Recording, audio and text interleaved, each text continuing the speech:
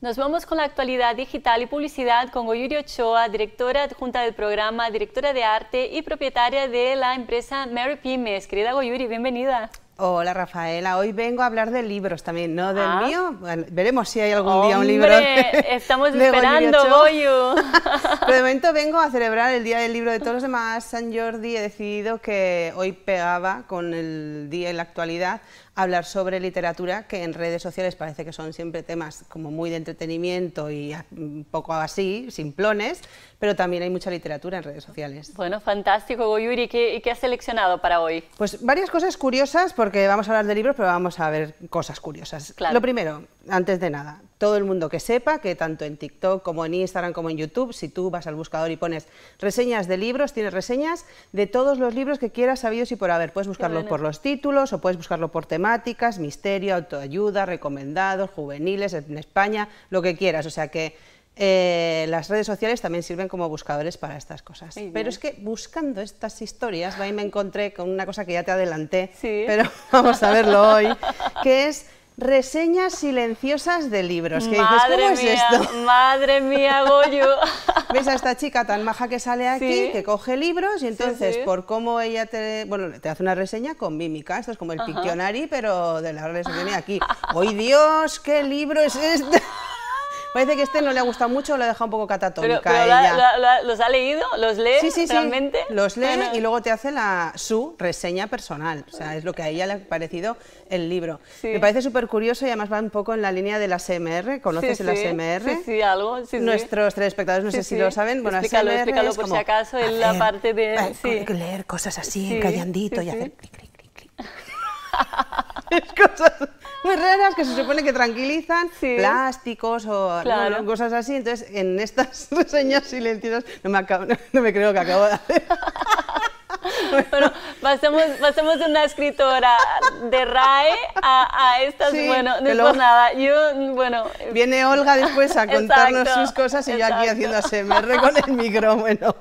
Bueno, es, divertido, hay, hay, hay, que ver para todo, hay cosas divertidas, hay para todas, y hay que reír. exacto, bueno, pero en otra en otro ámbito, eh, también hay referencias literarias de gente que sabe mucho sobre literatura, que hacen eh, recomendaciones de libros eh, con cara y ojos, que les llaman booktokers, que yo no sabía esto, es otro término que ah, he descubierto, booktokers, y aquí tenemos a Bea, ah. esta chica, o sea, no me puede encantar más, porque, o sea, yo no sé qué es lo que no se ha leído ella.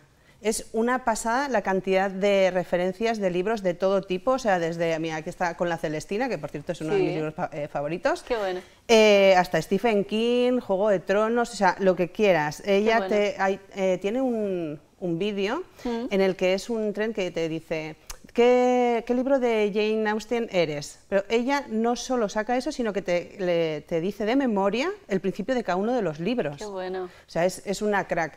y es muy divertida su, su cuenta porque, bueno, te hace pues eso, reseñas de libros, te cuenta cosas muy curiosas, la verdad que está muy bien.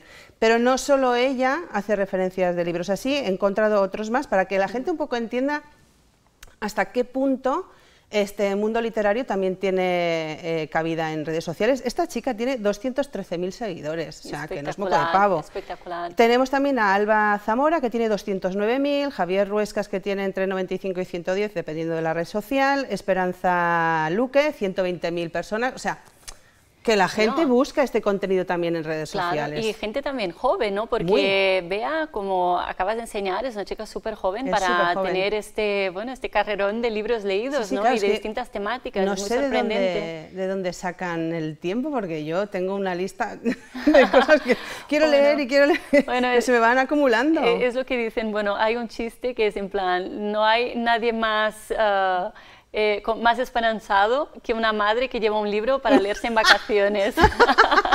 Nadie más optimista, ¿no? Nadie más optimista que una madre que se lleva un libro para, para las vacaciones. Yo soy esa madre, Soy esa madre. es verdad que yo encontraba un, espacio que era cuando mientras mi hijo iba a los entrenamientos, madres que estás ahí, pues unas tomando un café, otras no sé qué, yo aprovechaba para leer, pero ahora resulta que lo he cambiado por deporte, entonces ese rato de leer se me va a pequeños espacios, pero sí, se me van acumulando libros se me van acumulando, acumulando, bueno, algún día los leeré. Ya llegará el momento, Goyo. Exacto, no hay ningún problema, llegará el momento. ¿Qué más nos encontramos en este aspecto? Bueno, no son eh, temas literarios en este caso, pero sí que me encontré también a una, una cuenta que se llama, bueno, ella es Patricia Fernández, que hace salseos culturales, pero ah. tal cual, salseos culturales. Y te explica la generación del 27, pero explicada para la generación Z. Entonces ah. dice lindezas del tipo, la generación del 27 eran eh, influencers virales de la literatura. que escribían sobre lo moderno y lo pasado, como hacía Rosalía en El Malquerer. Claro, los contemporáneos de la época. Sí, sí. Y eh, tiene un vídeo también hablando de María Antonieta, que decía que su madre, igual que cualquier madre de la realeza, pensaba en el business y entonces la casó con Luis XVI, que vivían en el Versalles, que era como una cosa entre la Isla de las Tentaciones y Gran Hermano. Oh, más o menos, ¿no? O sea, me parece fantástico porque lo hace en muchos de estos vídeos, los hace para explicar y dice, con esta explicación vas a ir a la selectividad o a la, ¿cómo se llama ahora? ¿La EBAU se mm, llama? No, sé, algo así. Aún no me ha tocado, hoy no nos ha tocado todavía. Pues les explica a la gente pues, más jovencilla eh, historia, y salseos culturales, eh, pero llevados un poco a su ámbito para que al final eso es, mm, ¿cómo se llama? cultura, cultura general, cultura histórica o... No, quería decir la palabra no me saldrá. La semana que viene vengo con la palabra. La semana que viene, que hoy ya nos has dado unas cuantas palabras antes del programa con Josep, que bueno, nos hemos reído un montón. Pues la semana que viene busco esa palabra. Nemotecnia. Nemotecnia. Nemotecnia, quiere decir, cuando ah. tú le pones como un significado a una cosa para intentar recordarla mejor, vale. pues esto. claro, si, y sobre todo de nemotecnia... Bueno, nos, nos perdonarán, pero bueno, ya hemos entendido que es cuando, bueno, esto, cuando quieres explicar, bueno, una canción para explicar una fórmula matemática, por ejemplo. Exacto, eso es, eso es. Pues ahí nos quedamos, lo buscaré a ver si es bien bien eso o no es. Perfecto. Mm, voy a ir a otro tema más eh, tranquilo en este caso porque todo ha ido como ha ido yendo hacia aquí y acabé no sé cómo viendo las bibliotecas más bonitas del mundo. Y me encontré con cuatro. Mira, esta primera de aquí es eh, la biblioteca del Hotel del Vino que está en Zurich. Está dentro de un hotel, pero me pareció fantástica. O sea, es una pasada que dentro de un hotel haya esa biblioteca. Supongo que no a todo el mundo le dejarán subir con la escalera a coger libros, pero bueno, no está mal.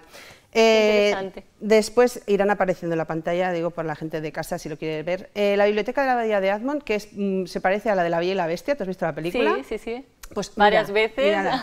ahí está. Es preciosa. Qué bonita. Después hay otra que es la de Vasconcelos en México y la antigua biblioteca del Trinity College de Dublín.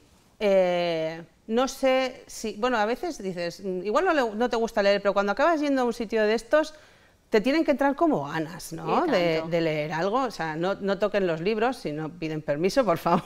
en este tipo de sitios primero hay que enterarse de si se pueden coger las cosas o no. Claro, claro. Pero me parece una, una, idea como para hacer viajes, sobre todo con niños, que igual les cuesta más leer o tal, y entonces intentar llevarles un poco a, cosas así ¿no? de espectaculares, decir, mira qué chulo, y tú podrías leer los libros que hay aquí. No lo sé. Estoy como madre de niño pequeño, eh, creo que podría ser una buena excursión. A lo mejor me equivoco, pero bueno, me parece que está bien. Bueno, Goyuri, yo, yo creo que nos has dado unas pautas geniales y sobre todo de cara bueno, a todos los que hemos vivido ahora San Jordi y que, Goyuri, estamos esperando este libro.